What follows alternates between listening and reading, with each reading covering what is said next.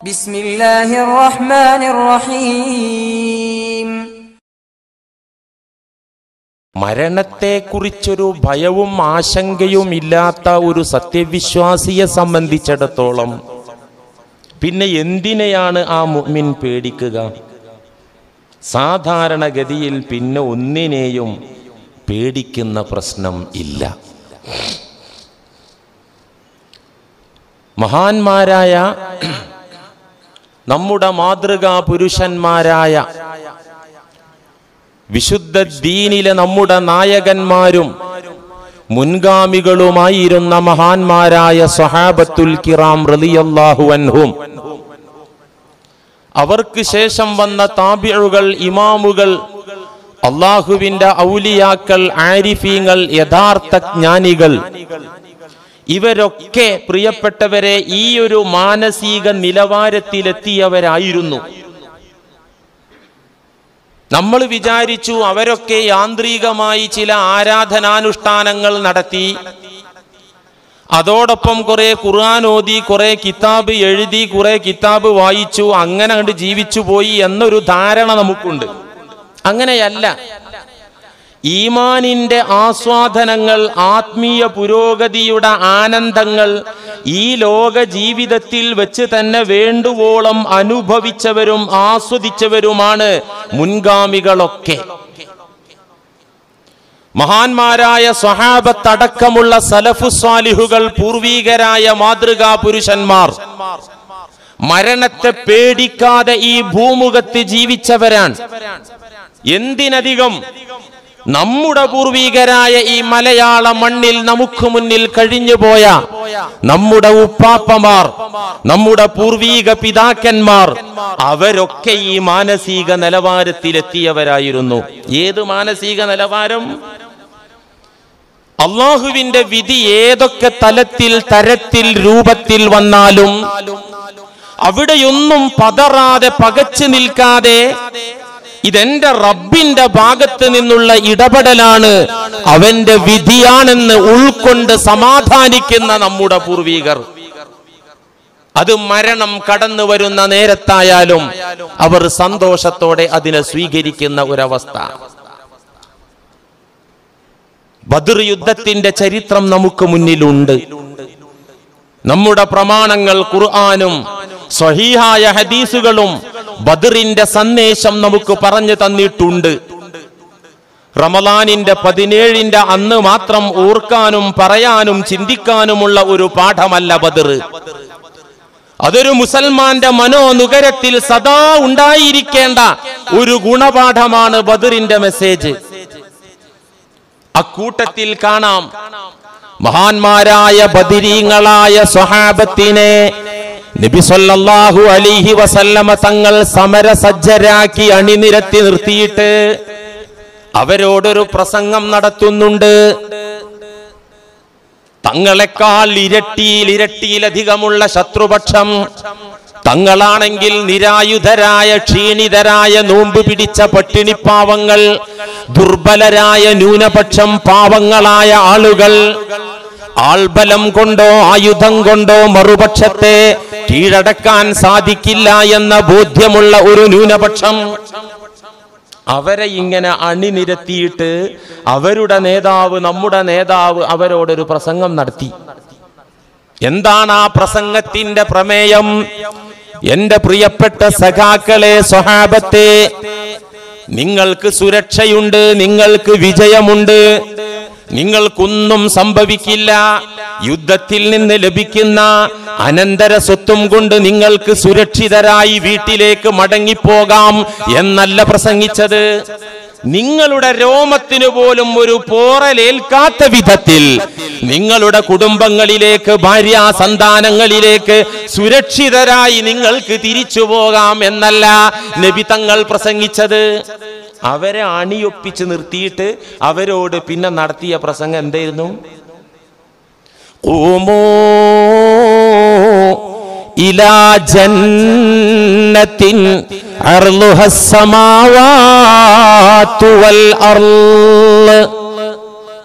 നിങ്ങൾ മരിക്കാൻ തയ്യാറായിക്കോളൂ അതന്നെ. ഊമു ഇലാ ജന്നത്തിൻ നിങ്ങൾ എണീറ്റ് വരിക. നിങ്ങൾ ആക്റ്റീവാകുക. ഇലാ ജന്നത്തിൻ സ്വർഗത്തിലേക്ക് ഏത് സ്വർഗമെന്നറിയോ? അതിന്റെ വ്യാപ്തി അതിന്റെ വീതിയും വിസ്തൃതിയും ആകാശഭൂമികൾക്ക് തത്തുല്യമാണ്. അല്ലെങ്കിൽ അതിനേക്കാൾ പ്രവിശാലമാണ്. അങ്ങനെയുള്ള ഒരു സ്വർഗത്തിലേക്ക് എണീക്കൂ. നമ്മളുണ്ടല്ലോ ഒരു സൽക്കാരൊക്കെ റെഡിയാക്കിയിട്ട് വിഭവ സമൃദ്ധമായ ആഹാരമൊക്കെ തീന്മേശയിൽ ഒരുക്കിയിട്ട് വിരുന്നുകാരോട് പറയില്ലേ കൈയഴുകിക്കോളൂ കഴിച്ചോളൂ. കൈയഴുകിയാ കഴിക്കാൻ. ഇതേ ഒരു അവസ്ഥയിലാ പറഞ്ഞത്. അവരെ റെഡിയാക്കി നിർത്തിയിട്ട് മരിക്കാൻ എണീറ്റോളൂ കൂമു മരിക്കാൻ എണീറ്റോളൂ. എന്താ സ്വർഗം കിട്ടും? കൈയഴുകിക്കോളൂ എന്നാ ചാപ്പാടടിക്കാന്ന് പറഞ്ഞതുപോലെ പോലെ മരിക്കാൻ എണീറ്റോളൂ എന്നാ സ്വർഗം കിട്ടും? ഇത് കേട്ട് സ്വഹാബത്താരും റിവേഴ്സ് അടിച്ചില്ല. ആരും പിന്തിരിഞ്ഞില്ല എന്ന് മാത്രമല്ല അവരുടെ ആവേശം വളരുകയാണ് അവരുടെ ആവേശം ഉണരുകയാണ് പ്രിയമുള്ള സഹോദരന്മാരെ. ആ സമയത്ത് ഇമാം മുസ്ലിം സഹീഹിൽ ഉദ്ധരിച്ചിരിക്കുന്ന ഹദീസിൽ കാണാം ഒരു സംഭവം. മഹാനായ ഉമൈറുബിനുൽ ഹുമാം റളിയല്ലാഹു അൻ ബദരീങ്ങളിൽപ്പെട്ട സഹാബിയ. അദ്ദേഹം ആ അണിയിൽ ഒരു സൈഡിൽ നിന്നിട്ട് ഇത് യുദ്ധം നടക്കുന്നതിന്റെ മുമ്പാണ് ആ നോമ്പ് പിടിക്കുന്നതിന്റെ മുമ്പാണ്. യുദ്ധത്തിന് സജ്ജരാക്കി അണിനിരത്ത് നിർത്തിയിട്ട് ഇതേ വെളുപ്പാൻ കാലത്ത് നമ്മൾ പടവെട്ടണം അതിനുള്ള നിർദ്ദേശം തരികയാണെന്ന് പറഞ്ഞിട്ട് ആ സമയത്ത് ഉമൈറുബിനുൽ ഹുമാം എന്നവര് ഒരു കാരക്ക കടിച്ചിമ്പി തിന്നുകയാണ് ആ തിന്നുകൊണ്ട് കൊ- ഭക്ഷിച്ചു കൊണ്ടിരിക്കുന്നതിനിടയിലാണ് നബിയുടെ ഈ ആജ്ഞ കേട്ടത് പ്രഖ്യാപനം കേട്ടത്. ഉടനെ ആ മഹാനായ സഹാബി ചോദിച്ചു യാ റസൂലല്ല സ്വർഗം അങ്ങു പറഞ്ഞതിന് മാത്രം വിശാലമാണോ? ബല അതെ ഞാൻ ചുമ്മാ പറയുകയല്ല. അള്ളാഹുവിന്റെ കലാമിന്റെ വിശുദ്ധ ഖുർആാനിന്റെ അടിസ്ഥാനത്തിലാണ് ഞാൻ പറയുന്നത്. ഉടനെ അദ്ദേഹം ആവേശം അദ്ദേഹം പ്രകടിപ്പിക്കുകയാണ്. വായിക്കകത്തുള്ള ആ കാരക്ക ചീളുകൾ അദ്ദേഹം പുറത്തേക്കെടുത്ത്. എന്നിട്ട് അദ്ദേഹം പറഞ്ഞു ആകുല ഹാദിഹി ഞാൻ എന്റെ വായി കിടക്കുന്ന ഈ കാരക്കച്ചീളും കയ്യിൽ കിടക്കുന്ന ഒന്നോ രണ്ടോ മൂന്നോ കാരക്കകളും ഇത് കഴിച്ചു തീർക്കാൻ കാത്തു നിന്നാൽ ആ സമയം ലക്കാനത്ത് ഹയാത്തൻ തൊവീല എനിക്കൊരു വിരസമായ ദൈർഘ്യമേറിയ ഒരു ജീവിതമായിട്ട് അതെനിക്ക് ഫീൽ ചെയ്യും ഇനി എനിക്ക് അത്ര സമയം പോലും ഇവിടെ നിൽക്കാൻ പറ്റൂല വായിലിട്ട കാരക്ക കടിച്ച് ചവച്ചിറക്കുന്ന സമയം ഇനി എനിക്ക് കാത്തു നിൽക്കാൻ വയ്യ സുമ്മ കാത്തലഹും. ആ ഭക്ഷണം തീറ്റ അവസാനിപ്പിച്ച് കാരക്ക കഴി കടിച്ചു തിന്നുന്നത് വായിലുള്ളതും കയ്യിലുള്ളതും വലിച്ചെറിഞ്ഞിട്ട് ഉടനെ തന്നെ ആയുധമെടുത്ത് സമരഭൂമിയിലേക്ക് ഇറങ്ങുകയാണ്. സുമ്മ കാത്തലഹും ശത്രുക്കളോട് സമരം കുത്തിലാ. ബദർ യുദ്ധത്തിലെ ഒന്നാമത്തെ ഷഹീദ്. അൻ നോക്കൂ നിങ്ങൾ അവരെ വിളിച്ചപ്പോൾ അവർ വിളി കേട്ടത് അവരെ ഒരു ധൈര്യം. ജീവിതത്തെക്കുറിച്ചുള്ള അവരെ കാഴ്ചപ്പാട് മരണത്തെക്കുറിച്ചുള്ള അവരെ ചിന്ത. അവരെ നഫ്സു മുത്തുമ്മ ഇന്നയുടെ വക്താക്കളായിരുന്നു. അവർ മാത്രമല്ല ഈ ചരിത്രത്തിൽ നിന്ന് പാഠം ഉൾക്കൊണ്ട ഞാൻ പറഞ്ഞല്ലോ നമ്മുടെ പൂർവീക പിതാക്കൾ മലയാളക്കരയിൽ വന്ന നമ്മുടെ ഉപ്പാപ്പമാർ ഒരുപാട് ആളുകളുണ്ട്. ഇപ്പൊ ഇവിടെയുണ്ട് മുൻഗാമികളായ പൂർവീകർ. അവരെ ഈമാനൊക്കെ ഞാൻ ഇവിടെ ഒരു കൊല്ലത്തിനിടയിൽ വന്നിട്ട് കേട്ടിട്ടുണ്ട്. പല വിഷയങ്ങളിലും ഭീഷണികൾ വന്നപ്പോക്കെ അവരാ ഉടുമുണ്ട് മുറുക്കിയിട്ട് ആ മുന്നിക്കിറങ്ങിയ ഇറക്കം ഈ നാട്ടുകാരെന്നോട് പറഞ്ഞിട്ടുണ്ട്. എല്ലാ നാട്ടിലും നമ്മുടെ പൂർവിക പിതാക്കൾ മരണം അവർക്ക് വിഷയമല്ലായിരുന്നു അവർ നഫ്സ് മുത്തുമയിലെത്തി അവർ ഈമാനുള്ളവരായിരുന്നു. നമുക്കും അങ്ങോട്ട് എത്തണം. നിങ്ങൾ കേട്ടിട്ടില്ലേ? മലപ്പുറം ശുഹതാക്കളുടെ ചരിത്രം?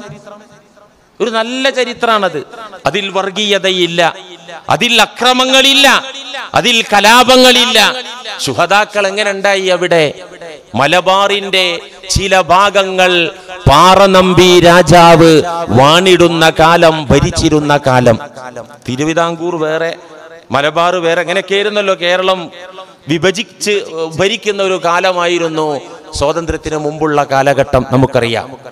മലബാറിന്റെ ചില ഭാഗങ്ങൾ ഭരിച്ചിരുന്ന രാജാവായിരുന്നു പാറനമ്പി രാജാവ്. അദ്ദേഹത്തിന്റെ കീഴിൽ ഉദ്യോഗസ്ഥന്മാരായിട്ട് ഒരുപാട് മുഹമ്മദീയരുണ്ടായിരുന്നു. അങ്ങനെയാണ് ചരിത്രമൊക്കെ അങ്ങനെ തന്നെയാണ്. കേരളം ഭരിച്ചിരുന്ന രാജാക്കന്മാരുടെ കീഴിൽ മുസ്ലിം ചുണക്കുട്ടികൾ ധീരന്മാരായ കേസരികൾ എത്ര? കോഴിക്കോട് സാമൂതിരി രാജാവിന്റെ പ്രധാന ഭടന്മാർ നാവിക പടത്തലവന്മാർ കുഞ്ഞാലി മരക്കാർമാരായിരുന്നു. ചരിത്രം ഇന്നും അത് രേഖപ്പെടുത്തി വെച്ചിട്ടുണ്ട്. തീരം കാക്കാൻ കുഞ്ഞാലി മരക്കാർമാരെയാണ് സാമൂതിരി രാജാവ്. കാരണം വിശ്വസിക്ക. മുഹമ്മദിയരെ വിശ്വസിക്ക.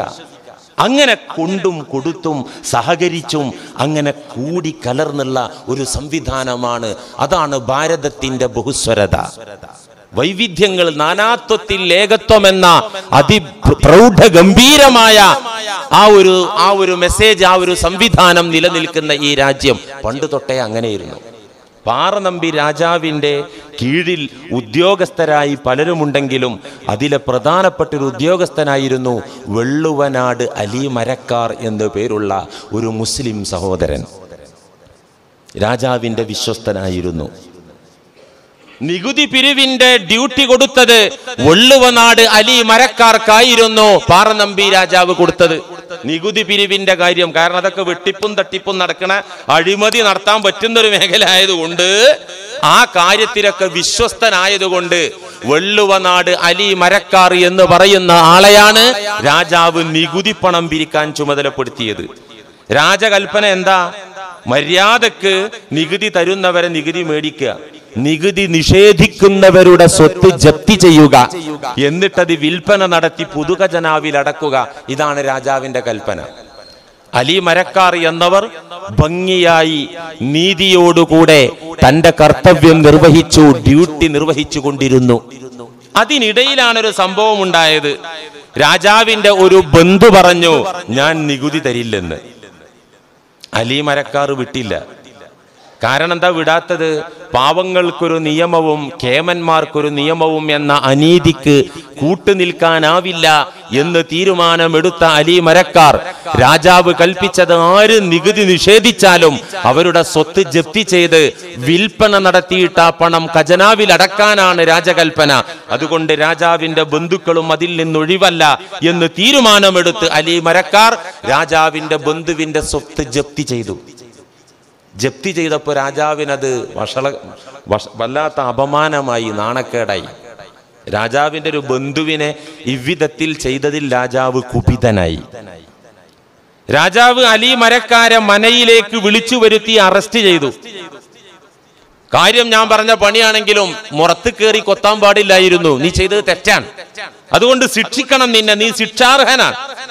ഏത് ശിക്ഷയാണ് തരേണ്ടത് എന്ന് വെളിച്ചപ്പാട് ഉറഞ്ഞു തുള്ളി പറയട്ടെ. നമ്മൾ ആരും പറയുന്നില്ല. വെളിച്ചപ്പാടിന് വഹയു വരട്ടെ എന്നിട്ട് വെളിച്ചപ്പാട് പറയുന്ന ശിക്ഷയാണ് നിനക്ക് തരാൻ പോകുന്നത്. വെളിച്ചപ്പാട് ഉറഞ്ഞു തുള്ളി പറഞ്ഞു രാജാവിന് വന്ന അപമാനം തീർക്കാൻ ജോനകന്മാരുടെ പള്ളി ചുട്ടുകരിച്ച് ആ രാജാവിന്റെ നാണക്കേട് മാറ്റണം. എന്ന് വെച്ചാൽ രാജാവിന് വന്ന ഈ നാണക്കേട് മാറ്റാൻ മുഹമ്മദീയരുടെ പള്ളി ചുട്ടുകരിച്ച് കത്തിച്ചാമ്പലാക്കിയിട്ട് ആ അപമാനം നാണക്കേട് മാറ്റണം. വെളിച്ചപ്പാടിന് വന്ന വഴി അതായിരുന്നു. വെളിച്ചപ്പാടിന് വരുന്ന വഴി ഷെയ്ത്താന്റെ ഭാഗത്തുനിന്നുള്ള വഴിയാ നമ്മളെ വിശ്വാസം അതാണ്.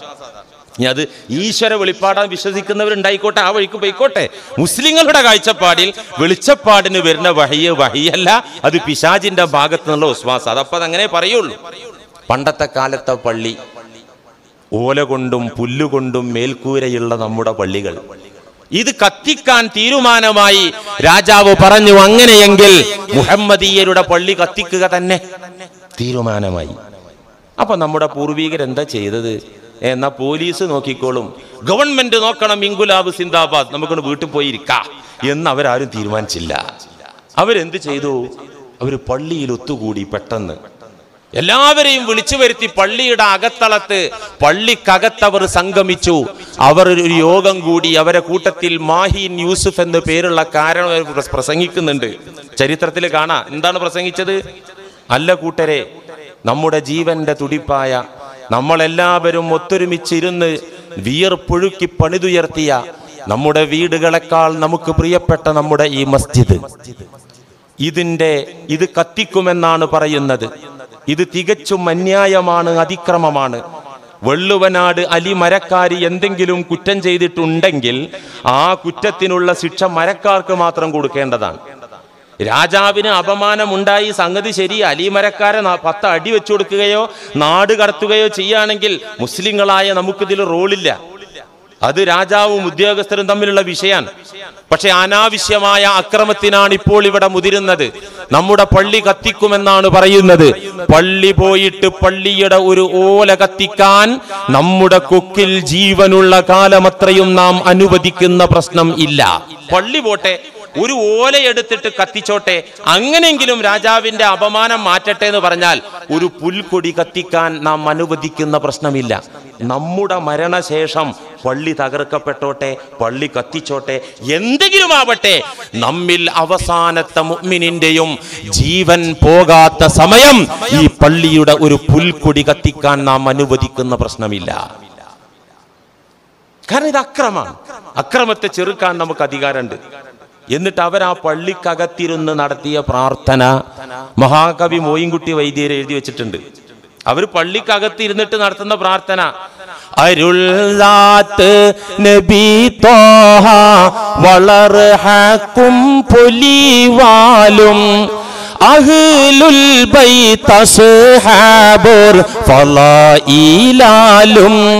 എങ്കൽ കരുളണം ഷഹാദത്ത് റഹീമായോനേ. എന്താ ആ പള്ളിക്കകത്തിന് ദുവാ ചെയ്തത്?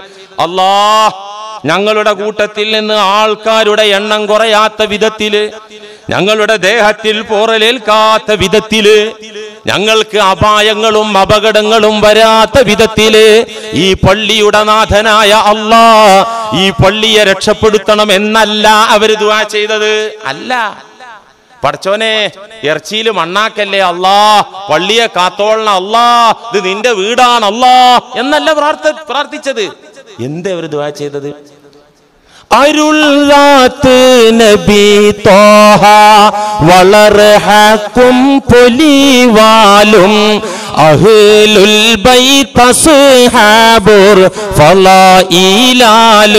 അല്ലാഹുവേ ഞങ്ങൾ പാപികളായിരിക്കാം ഞങ്ങൾ വിവരമില്ലാത്ത സാധുക്കളായിരിക്കാം അല്ല. നിന്റെ ഹബീബായ നബിയുടെ അവിടുത്തെ പ്രിയപ്പെട്ട സഹാബത്തിന്റെ അഹ്ലുബൈത്തിന്റെ മഹത്വം വെച്ചുകൊണ്ട് നിന്നോട് ചോദിക്കുന്നു അല്ല. ഇതിപ്പോ ഇന്ന് ശരിയല്ല ഈ ദുആ എന്ന് കേട്ടോ നമ്മളണ്ട് ചോദിക്കുക ഉത്തരം കേട്ട് മേടിക്കുക അള്ളാന്റെ റസൂലിനെയും സഹാബത്തിനെയും അഖിലിബൈത്തിനൊക്കെ മുന്നിൽ വെച്ചിട്ട് എന്തിനാ ഒരു ദ്വാ അല്ല പറഞ്ഞിട്ടില്ലേ ചോദിച്ചോളടാ. തന്നേക്കാന്ന്. എത്ര ചോദിച്ചു തന്നോ? ആയത്തന്നെയാണ് ഖുറാൻ തന്നെയാണ് അത് നിങ്ങൾ എന്നോട് ചോദിച്ചോ അസ്തജിബുലക്കും ഞാൻ തന്നേക്കാന്ന് അല്ല പറഞ്ഞിട്ടില്ലേ? എന്തോരം ചോദിച്ചോടോ കിട്ടിയോ? കിട്ടിയോ? അല്ല ചോദിക്കാൻ മാത്രല്ലല്ലോ പറഞ്ഞതാണോ അല്ല ചോദിക്കാൻ മാത്രാണോ പറഞ്ഞത് അല്ലല്ലോ? ചോദിച്ചോ തന്നേക്കാന്നല്ല പറഞ്ഞത്? എന്തോരം ചോദിച്ചു കിട്ടിയോ? എന്താ കിട്ടാത്തത്? ചോദ്യത്തിന്റെ മട്ട മര്യാദ പാലിച്ചില്ല. ചോദ്യത്തിനൊരു മര്യാദ ഉണ്ട്. ആ മര്യാദയാണ് തവസ്സുലാക്കിയിട്ടുള്ള ദുആ. നമ്മളൊന്ന് എന്തെങ്കിലും ദുവാ ചെയ്യുമ്പോൾ ഒരു അൽഫാത്തിഹ ഒരു ഫാത്തിഹ ഓതിയിട്ട് ഒരു സ്വതക്ക ചെയ്തിട്ട് കഴബ മന്ദിരത്തിന്റെ പുനർനിർമ്മാണത്തിൽ നിന്ന് വിരമിച്ച നേരത്ത് ഖലീലുല്ലാഹി ഇബ്രാഹിം നബി അലിഹിസലാമും പുത്രൻ ഇസ്മായിൽ അലിഹിസലാമും ദുവാ ചെയ്ത ദുവാ ഖുറാൻ പറഞ്ഞു തന്നിട്ടുണ്ട്. ആ നല്ലൊരു കാര്യത്തിൽ നിന്ന് വിരമിച്ചപ്പോ അപ്പാണ് ദ്വരക്ക. അതാണ് അത് ഏതിലുണ്ടത്? ഇത് ആദൻ നബിയോളം പഴക്കമുണ്ട് ഈ ദുആക്ക് എന്ത്? ദുആക്ക് മുമ്പ് അള്ളാന്റെ മുമ്പിൽ എന്തെങ്കിലും ഒന്ന് വെച്ചിട്ട് തവസ്സുലാക്കി ദുആ ചെയ്യാം.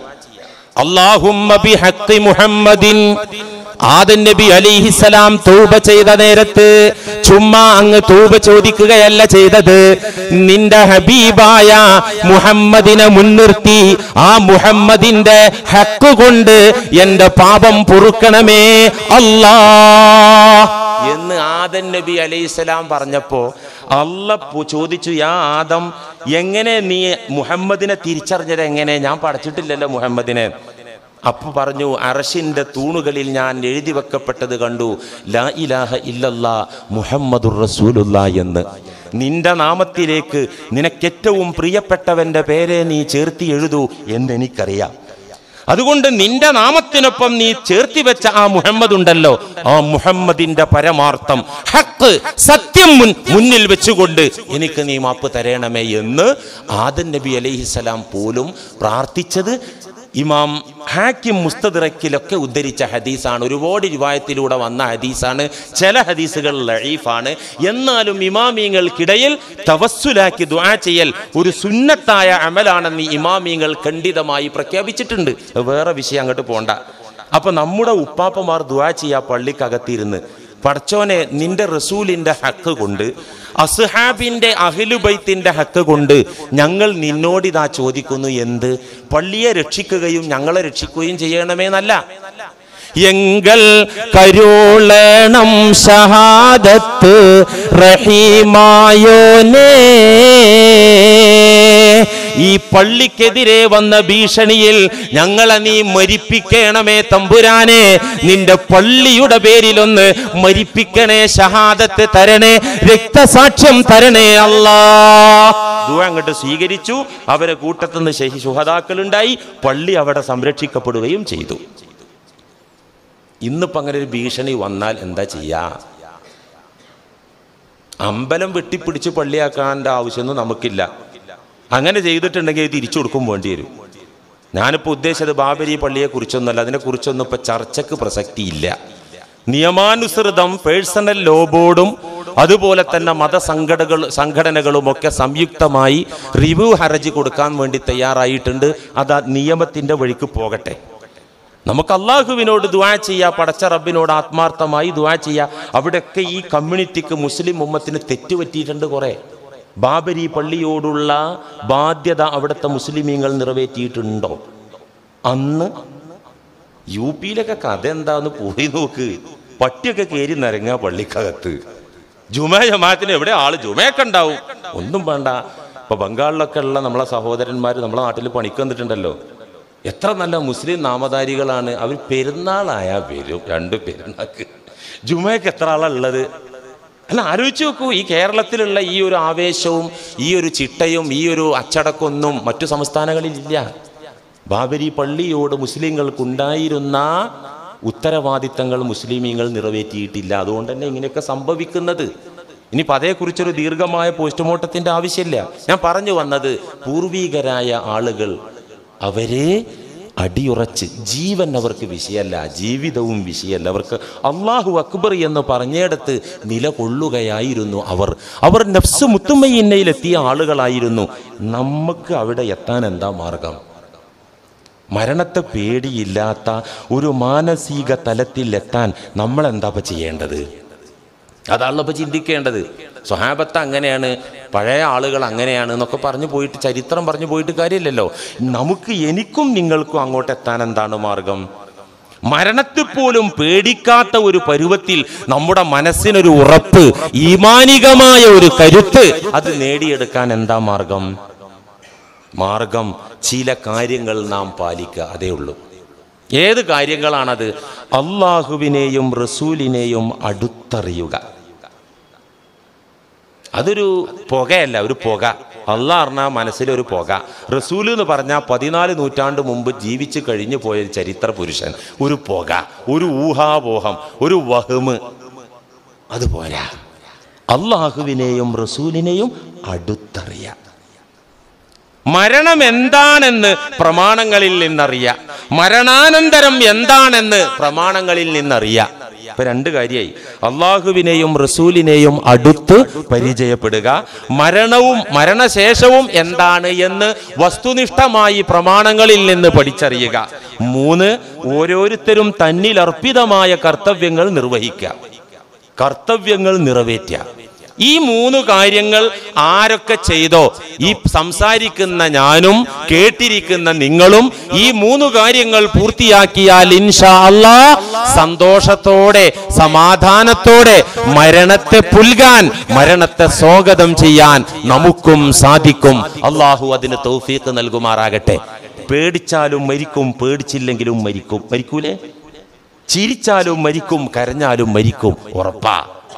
അപ്പൊ മരിക്കുന്നതിന്റെ മുമ്പ് ആ മരണത്തെ ഒന്ന് സ്വാഗതം ചെയ്ത് പേടിയില്ലാത്ത പരുവത്തിൽ അസറായിൽ അലഹിസലാമിന് നിന്നുകൊടുക്കാനുള്ള ഒരു മാനസിക കരുത്ത്. അതിന് നഫ്സുമുത്തുമയിന്നയിൽ എത്തണം അതിന് ഈ മൂന്ന് കാര്യങ്ങൾ പാലിക്കണം. അതിൽ വളരെ ഇമ്പോർട്ടന്റ് ആണ്. പ്രിയമുള്ള സഹോദരന്മാരെ ഓരോരുത്തരും തന്നിൽ അർപ്പിതമായ കർത്തവ്യം നിറവേറ്റുക എന്നത്. കർത്തവ്യ നിർവഹണം മനസ്സമാധാനത്തിന് ഇമ്പോർട്ടന്റ് അത് ഭൗതിക കാര്യത്തിലായാലും ആത്മീയ കാര്യത്തിലാണെങ്കിലും ദുന്യാവിന്റെ കേസിലാണെങ്കിലും ആഹ്റത്തിന്റെ കേസിലാണെങ്കിലും കർത്തവ്യ നിർവഹണം ഓരോരുത്തരും ഉത്തരവാദിത്തം നിറവേറ്റുക എന്നത് മനസ്സമാധാനത്തിന് അനിവാര്യമായ കാര്യമാണ്.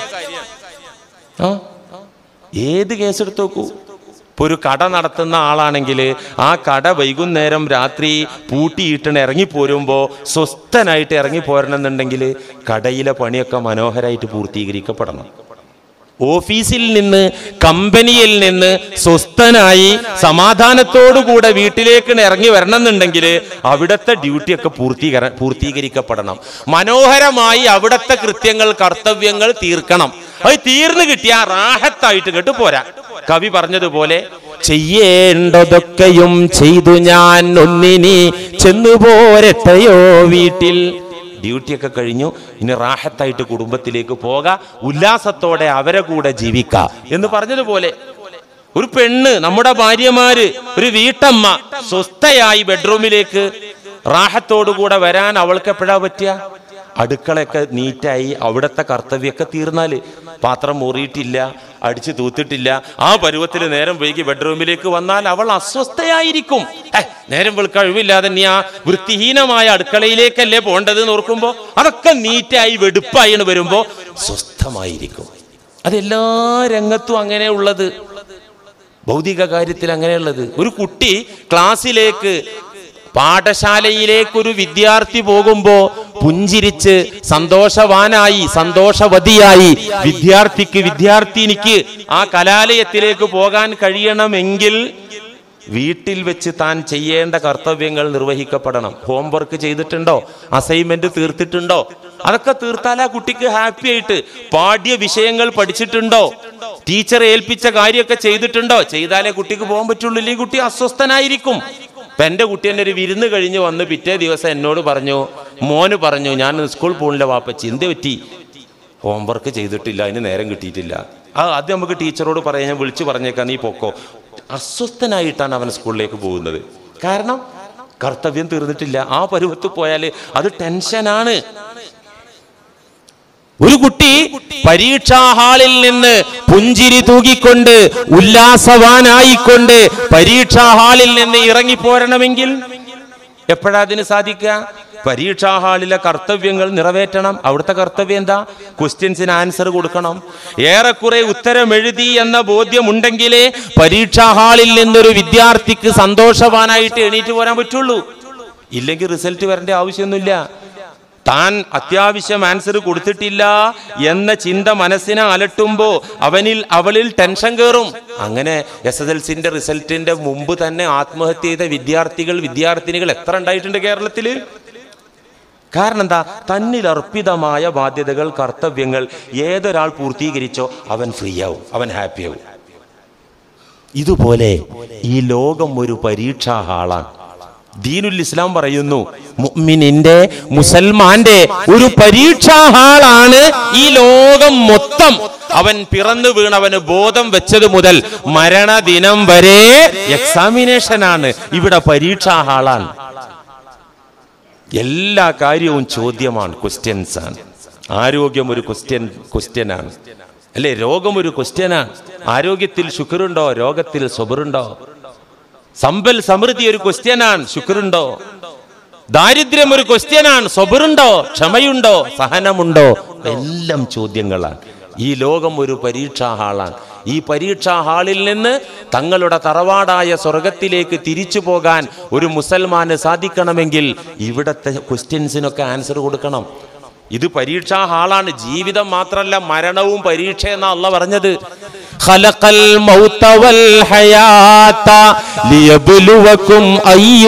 അഹ്സനു ജീവിതം പരീക്ഷയാണ് മരണവും പരീക്ഷയാണ്. ഈ പരീക്ഷയിൽ വിജയം എങ്ങനെയാണ്? ലിയബുലുവക്കും അയ്യുക്കും ആരിലൊക്കെയാണ് ഇഹ്സാൻ ഉള്ളത് എന്ന ക്വസ്റ്റ്യൻസ് ആണ്. നന്മയിൽ അധിഷ്ഠിതമായ ജീവിതം ആരിലുള്ളത് ഈ പരീക്ഷയാണ് നല്ല നടത്തിക്കൊണ്ടിരിക്കുന്നത്. അതുകൊണ്ട് ഈ പരീക്ഷാ ഹാളിൽ നിന്ന് പരീക്ഷ എഴുത്തു കഴിഞ്ഞ് പുഞ്ചിരി തൂകി മരിച്ച് തറവാടായ സ്വർഗത്തിലേക്ക് പോകാൻ ഇവിടത്തെ ക്വസ്റ്റ്യൻസിന് ഉത്തരം എഴുതിയവർക്കേ കഴിയൂ. ഇല്ലെങ്കിൽ കഴിയൂല. അസ്വസ്ഥരായിരിക്കും. കർത്തവ്യ നിർവഹണം അതിപ്രധാനമാണ്. സ്വസ്ഥതയ്ക്ക് അത് എല്ലാ മേഖലയിലും വളരെ പ്രധാനപ്പെട്ട കാര്യമാണ്. ഈ ലോകം എന്ന് പറയുന്നത് അള്ളാഹു ഈ ദുനിയാവിനെ സംവിധാനിച്ചിരിക്കുന്നത് പ്രിയപ്പെട്ടവരെ ടെൻഷന്റെ മെറ്റീരിയലുകളും ടെൻഷന്റെ വിഭവങ്ങളുമാണ് ഇവിടെ കൂടുതലുള്ളത്. ഏതൊരു സുഖത്തിന്റെ കൂടെയും ദുഃഖമുണ്ട്. ഏതൊരു സന്തോഷത്തിന്റെ കൂടെയും ടെൻഷൻ ഉണ്ട് അതില്ലാതെ കഴിയൂല. ജനനം മരണം. ജനിച്ചാൽ പിന്നെ മരണം കാത്തിരിക്കുക തൊട്ടടുത്തല്ലെങ്കിലും ജനിച്ചു കഴിഞ്ഞാൽ പിന്നെ മരണത്തിലേക്കാണല്ലോ പോക്ക്. ഉയർച്ച ഉയർച്ചയ്ക്കൊരു താഴ്ച ഉണ്ടാവും. ആരോഗ്യം രോഗം. യുവത്വം വാർദ്ധക്യം. യുവത്വത്തിൽ സന്തോഷമായിരിക്കും മുടി ഇങ്ങനെ വെളുത്ത് തുടങ്ങുമ്പോൾ സഹിക്കാൻ പറ്റൂല. അപ്പൊ കറുപ്പ് പെയിന്റ് കൊടുത്ത് അഡ്ജസ്റ്റ് ചെയ്ത് നോക്കും. പക്ഷെ സ്കിന്നൊക്കെ ചുക്കി ചുളിഞ്ഞു പോകും പുട്ടിയിടാൻ നോക്കും. പക്ഷെ അസ്ഥികൾക്കും നാടി ഞരമ്പുകൾക്കൊക്കെ ബലക്ഷയം വരും. എന്ത് ചെയ്യാൻ പറ്റും? അങ്ങനെ ഏതൊരു ആനന്ദത്തിന്റെയും സന്തോഷത്തിന്റെയും കൂടപ്പിറപ്പായി അതിന്റെ തൊട്ട് ഉടനെയായിട്ട് ടെൻഷൻ അള്ളാഹു സംവിധാനിച്ചു വെച്ചിരിക്കുകയാണ്. ഈ ലോകം അങ്ങനെയാണ്. ഖുർആൻ സൂറത്തുൽ ബലത് നോക്ക്. ലാ أقسم بهذا البلد وأنت حل بهذا البلد ووالد وما ولد لقد خلقنا الإنسان في كبد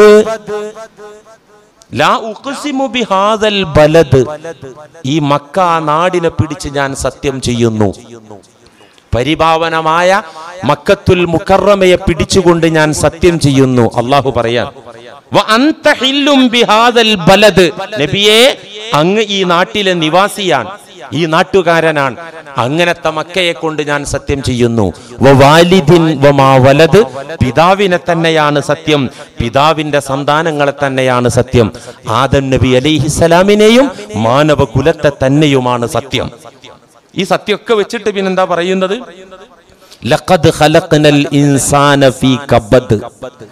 തീർച്ച. മനുഷ്യരെ നാം പടച്ചിരിക്കുന്നത് മനുഷ്യ മക്കളെ നാം പടച്ചു വെച്ചിരിക്കുന്നത് ഫീ കബദ് ഫീ കബദ്. ടെൻഷൻ അനുഭവിക്കുന്ന പരുവത്തിലാ. അസ്വാസ്ഥ്യങ്ങളാണ് നിറയെ. കുടുംബത്തെ പോറ്റണം തൊഴിൽ ചെയ്യണം കച്ചവടം ചെയ്യണം ലാഭത്തിന്റെ കൂടെ നഷ്ടം വരും ആരോഗ്യത്തിന്റെ കൂടെ രോഗം വരും ദുന്യാവിന്റെ കൂടെ ആഹാരം വരാനുണ്ട് ഖബറുണ്ട് മഷറുണ്ട്. ഇങ്ങനെ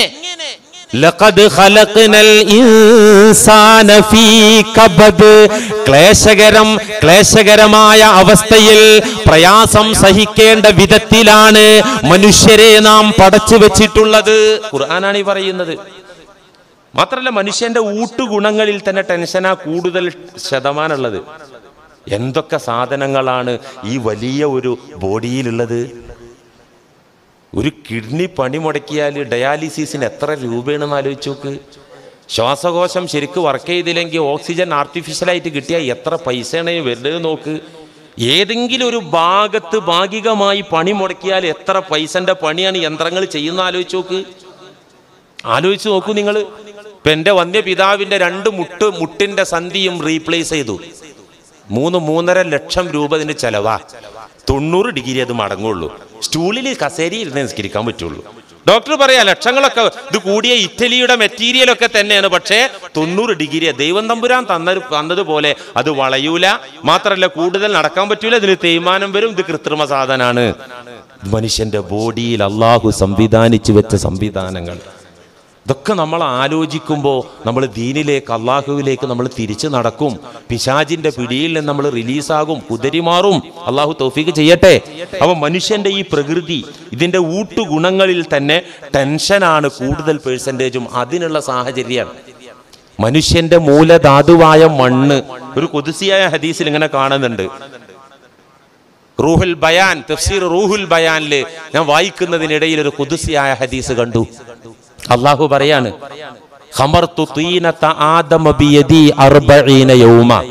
ഞാൻ ആദമിനെ പടക്കാൻ വേണ്ടി കളിമണ്ണ് പരുവപ്പെടുത്തിയപ്പോ അതിങ്ങനെ കുഴച്ച് റെഡിയാക്കി എന്റെ കൈകളിൽ തന്നെ ഞാനത് നാൽപ്പത് ദിവസം മറച്ചു പിടിച്ചു. ഇതൊക്കെ ഒരു ആലങ്കാരിക പ്രയോഗം. അള്ളാഹ് കൈയൊന്നുമില്ലല്ലോ എന്റെ കുതിരത്തിൽ ഞാനത് നിർത്തി എന്നുള്ള അർത്ഥത്തിലാണ് പറയുന്നത്. ആദൻ നബി അലിഹിസലാമിനെ പടക്കാനുള്ള കളിമണ്ണ് ഞാൻ കുഴച്ചുകൊണ്ട് നാൽപ്പത് ദിവസം എന്റെ കുതിരത്തിന്റെ കരങ്ങളിൽ ഞാൻ അത് മറച്ചു വെച്ചു. എന്നിട്ട് അള്ളാഹു പറയാണ്. അത് കുഴച്ചൊക്കെ റെഡിയാക്കി ഉണങ്ങാൻ വേണ്ടി ഞാനത് നാൽപ്പത് വർഷം മാറ്റിവെച്ചു. നാൽപ്പത് കൊല്ലം ആ കളിമണ്ണ് ഞാൻ മാറ്റിവെച്ചു. വെച്ചു. നാൽപ്പത് വർഷം ഞാൻ പരുവപ്പെടുത്തി ഞാൻ കുഴച്ച ആ മണ്ണ് നാൽപ്പത് വർഷം ഉണങ്ങാൻ വേണ്ടി മാറ്റിവെച്ചപ്പോ. മുട്ടിയാൽ ശബ്ദമുള്ള കളിമണ്ണായി അത് മാറി. കുടുക്ക പഴയ കാലമൊക്കെ ഉണ്ടല്ലോ നമ്മൾ പാചകം ചെയ്യുന്നത്. മുട്ടി നോക്കിയാൽ സൗണ്ട് ഉണ്ടാവും. ഈ പരുവത്തിൽ സ്വൽസ്വാലൻ ഖുർആൻ തന്നെ പറഞ്ഞല്ലോ. സ്വൽസ്വാലൻ എന്ന പ്രയോഗം ഖുർആാനിക പ്രയോഗം അത് മുട്ടിയാൽ സൗണ്ട് ഉണ്ടാകുന്ന ശബ്ദമുണ്ടാകുന്ന പരുവത്തിലുള്ള മണ്ണായി മാറി.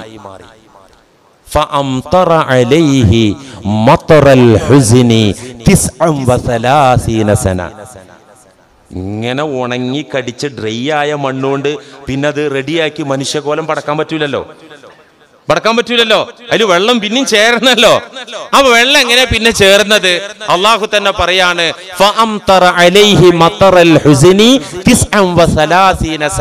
മുപ്പത്തി വർഷം ദുഃഖത്തിന്റെ ടെൻഷന്റെ മഴ ആ മണ്ണിലേക്ക് ഞാൻ വർഷിപ്പിച്ചു. ഇതൊക്കെ ആലങ്കാരിക പ്രയോഗമാണ്. കല്ലുമഴ ഐസ് മഴ ഹിമമഴ അല്ലെ? ഇങ്ങനെയൊക്കെ കല്ലുമഴ ഇതൊക്കെ നമ്മൾ കേട്ടിട്ടുണ്ട്. മത്തറൽ ഹുസൻ ടെൻഷന്റെ മഴ എന്നാ അള്ളാഹു പറഞ്ഞത്. ദുഃഖത്തിന്റെ മഴ ആ കളിമണ്ണിലേക്ക് നാം വർഷിപ്പിച്ചു മുപ്പത്തൊമ്പത് കൊല്ലം.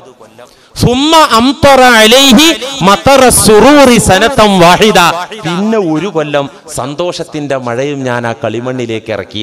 അള്ളാഹു പറയാൻ അപ്പൊ മുപ്പത്തി ഒൻപത് കൊല്ലം ഈ കളിമണ്ണിനെ പരുവപ്പെടുത്താൻ വേണ്ടി അള്ളാഹു ഇറക്കിയ മഴ ദുഃഖത്തിന്റെ ഹുസിനിന്റെ ടെൻഷന്റെ മഴയാണ് അള്ളാഹു ഈ പ്രകൃതിയിലേക്ക് ഇറക്കിയത്.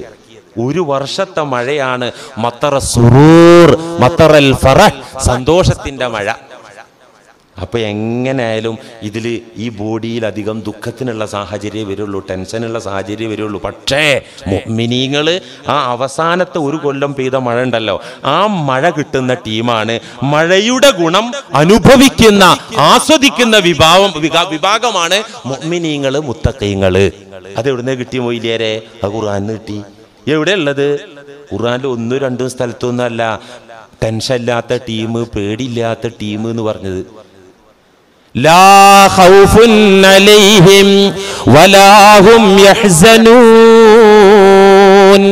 ഈ ഒരു പ്രയോഗം തന്നെ ഇതിന് സമാനമായ പ്രയോഗം തന്നെ വിശുദ്ധ ഖുർആാനിൽ ഇന്നലെ ഞാൻ പതിനഞ്ച് സ്ഥലത്ത് എണ്ണി നോക്കി. എത്ര സ്ഥലത്ത്? ഒന്ന് രണ്ടും സ്ഥലത്തൊന്നല്ല പതിനഞ്ചിടത്ത്. ലാ ഹൗഫുൻ അലൈഹിം ആ ആൾക്കാർക്ക് പേടില്ല പേടില്ല എന്ന് പറഞ്ഞാൽ എന്ത് പേടില്ല എന്നാ എന്ത് പേടില്ല എന്ന് അള്ളാഹു പറഞ്ഞില്ല. ഹസഫുൽ മഫ്ഊലി തുഫീദുൽ ഉമൂമ. ഇതാണ് അറബ് സാഹിത്യത്തിലെ നിയമം. ഇന്നത് എന്ന് പറഞ്ഞില്ലെങ്കിൽ എല്ലാം എന്നർത്ഥം നമ്മൾ അള്ളഹാനോട് ദുവാ ചെയ്യുമ്പോൾ റബ്ബനാ തഖബ്ബൽ മിന്ന ഇന്നക്ക അന്ത സമീഉൽ അലീം. അങ്ങനെ ദ്വാരക്കുക നല്ലത്. ആ റബ്ബനാ തഖബ്ബൽ മിന്ന ദുവാ ഇന്നക അന്ത അങ്ങനെയല്ല. അത് ദുആണെങ്കിലും വേണ്ടത്ര പോരാ. ഏറ്റവും നല്ല ദുആ എങ്ങനെയാണ്? റബ്ബന തഖബ്ബൽ മിന്നാ ഇന്നക അൻതസ് സമീഉൽ അലീം. പടച്ചോനെ ഞങ്ങളിൽ നിന്ന് സ്വീകരിക്കണമേ അല്ലാ. നീ എല്ലാം കേൾക്കുന്നവനും അറിയുന്നവനുമല്ലേ? എന്ത് എന്ന് പറയാതെ. എന്തു? അല്ലാ ഞങ്ങളെ ജീവിതം ഞങ്ങളെ സൽക്കർമ്മങ്ങൾ ഞങ്ങളെ ഇടപെടൽ ഞങ്ങളെ ശ്വാസങ്ങൾ വരെ ഞങ്ങളെ ചലനങ്ങളൊക്കെ എല്ലാം പെട്ടു. അങ്ങനെയാണത്. അപ്പൊ അതുപോലെ ലാ ഹൗഫുൻ എന്ന് പറഞ്ഞുകൊടുത്ത് എന്ത് പേടി എന്ന് പറഞ്ഞില്ല. ഒരു പേടിയില്ല അതന്നെ. അള്ളാനെ അല്ലാതെ പടപ്പ് സൃഷ്ടി ലോകത്ത് ഒന്നിനെയും പേടിക്കാത്ത ലാ ഹൗഫുൻ അലൈഹിം. വലാഹും യഹ്സനൂൻ. ഒരു കാര്യത്തിലും ടെൻഷൻ അടിക്കാത്ത ഒരു കാര്യത്തിലും ദുഃഖിക്കാത്ത വിഭാഗം എന്നല്ലാഹു ഖുർആനിൽ പതിനഞ്ച് സ്ഥലങ്ങളിലാണ് പറഞ്ഞത്. അത് ചുമ്മാ പറഞ്ഞതാണോ? വെറുതെ തട്ടിവിട്ടതാണോ? മൊയ്ലിയർക്ക് ഒരു പ്രസംഗ വിഷയത്തിന് വേണ്ടി റബ്ബർ പോലെ നീട്ടിപ്പിടിക്കാനാണോ? ഞാൻ ആ പതിനഞ്ച് സ്ഥലം ഒന്നും എണ്ണണില്ല. അതൊക്കെ വളരെ പ്രസക്തമാണ്. അതൊക്കെ ഓതിയിട്ട് ഉദ്ധരിച്ച് പ്രസംഗിക്കേണ്ട വിഷയം തന്നെയാണ്. നിങ്ങളെ സബൂറ് കുറവുണ്ട്. ഞാൻ ആ ആയത്തിലേക്ക് ഒന്നും കടന്നു ചെല്ലുന്നില്ല. പതിനഞ്ച് സ്ഥലത്ത് അള്ള പറഞ്ഞത്. ആ ടീമുണ്ടല്ലോ. ഇത് തുടക്കം മുതൽ ഒടുക്കം വരെ പറഞ്ഞിരിക്കുക തുടക്കം ഇവിടെ ആദൻ നബി അലി സ്വലാമിനെ പഠിച്ചിട്ട് ദുന്യാവിലേക്ക് പുറത്താക്കുന്ന സമയത്ത് ഇത് പറഞ്ഞിട്ടുണ്ട്. സൂറത്തുൽ ബഖറ فتلقى آدم من ربه كلمات فتاب عليه إنه هو التواب الرحيم قلنا اهبطوا منها جميعا فإما يأتينكم مني هدى فمن تبع هداي فلا خوف عليهم ولا هم يحزنون തുടക്കത്തിൽ അല്ല പറഞ്ഞു തുടക്കത്തിൽ സ്റ്റാർട്ടിങ്ങിൽ അല്ല പറഞ്ഞു ഖുർആന്റെ ഒരു പ്രമേയാണിത് ആദൻ നബി അലൈഹിസ്സലാമിൽ നിന്ന് വീഴ്ച വന്നു. ആദൻ നബി ഖേദിച്ചു. ആദൻ നബി തൗബ ചെയ്തു. തൗബ അല്ല സ്വീകരിച്ചു. പക്ഷേ തൗബ സ്വീകരിച്ചു എങ്കിലും അള്ളാഹു പറഞ്ഞു. ഏതായാലും പൊയ്ക്കോളും. ഇഹ്ബിത്തു മിൻഹ. സ്വർഗത്ത് നിന്ന് പുറത്തിറങ്ങിക്കോളൂ. ജമിയ. കെട്ടിയോളും കെട്ടിയോനൊക്കെ പൊക്കോളൂ. എല്ലാവരും പൊക്കോളൂ. നിങ്ങളെ മുതുകിലുള്ള മക്കളൊക്കെ എല്ലാവരും ഉണ്ടല്ലോ ഒക്കെ പൊക്കോളൂ. മിൻഹ ജമിയ സ്വർഗത്ത് നിന്ന് എല്ലാവരും പോയിക്കോളൂ ദുന്യാവിലേക്ക് പോയിക്കോളൂ.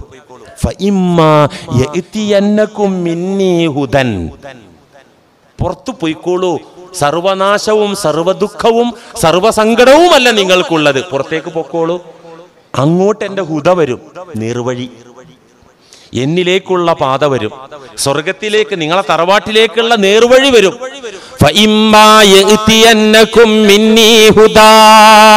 നിങ്ങളിലേക്ക് എന്റെ ഭാഗത്ത് നിന്നുള്ള സന്മാർഗ ദർശനം വന്നെത്തിയാൽ. ആ ഹിതായത്ത് ആർക്ക് കിട്ടിയോ? അള്ളാഹുവിലേക്കും റസൂലിലേക്കുമുള്ള വഴി ആർക്ക് ക്ലിയറായിയോ? ഫലാ ഖൗഫുൻ അലൈഹിം യഹ്സനൂൻ. അവർക്ക് ടെൻഷൻ ഉണ്ടാവില്ല അവർക്ക് പേടി ഉണ്ടാവില്ല അവിടെ അള്ളാഹു പറഞ്ഞു വെച്ചു. അള്ളാഹു സുബാനഹുവത്തായ ആ ഒരു അത്യുന്നതമായ തലത്തിലേക്ക് നമ്മെ എത്തിക്കുമാറാകട്ടെ. തൗഹീദിന്റെ അതിവിശാലമായ മറ്റു ഭാഗങ്ങൾ കൂടി നമുക്ക് ചർച്ച ചെയ്യേണ്ടതുണ്ട് എന്നതിന്റെ ശേഷമാണ് പിന്നെ പുറന്തൊലിയിലുള്ള ട്രീറ്റ്മെന്റ് അല്ലേ? അകത്തുള്ള ട്രീറ്റ്മെന്റ് ആണ് കഴിഞ്ഞോട്ടെ. ഹൃദയമാണ് നന്നാകണ്ടേ. ഹൃദയത്തിന്റെ സൂക്കേട് മാറിയിട്ടല്ലേ പിന്നെ പുറത്തുള്ള സൂക്കേട്? നമുക്ക് ചർച്ച ചെയ്യാം. അള്ളാഹു അവസരവും ആരോഗ്യമൊക്കെ തരികയാണെങ്കിൽ നമുക്ക് ചർച്ച ചെയ്യാം. തൗഹീദിന്റെ മറ്റു ഭാഗങ്ങൾ കൂടെ നമുക്ക് പറയാനുണ്ട്. അതൊക്കെ വസ്തുനിഷ്ഠമായി പഠിക്കാനും പഠിച്ചതുപോലെ നിലകൊള്ളാനും. അള്ളാഹുവേ നീ ഞങ്ങളെ തുണക്കേണമേ തമ്പുരാനെ. വിധവ